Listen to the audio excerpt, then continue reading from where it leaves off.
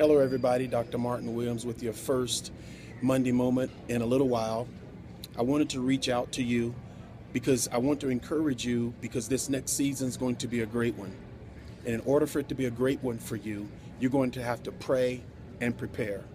Pray. Why do you say pray, Dr. Williams? Well, you need to pray, number one, because you don't know what God wants. You don't know what His will is. Many are the plans in your hearts, but it's the purposes of the Lord that will prevail. So you need to pray to be in touch with Him, in touch with heaven. Find out what the King wants for your life in this next season. Next, you need to prepare.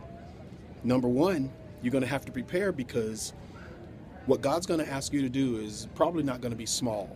It's going to be something that challenges you, challenges everything about you. You need to prepare because other people around you, you're probably going to have to explain this new season of your life and make sure that they're on board.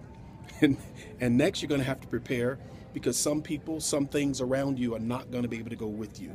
So you need to prepare in some ways, possibly to have to go it alone. So this is Martin Williams with your Monday Moment. I'll see you again next Monday.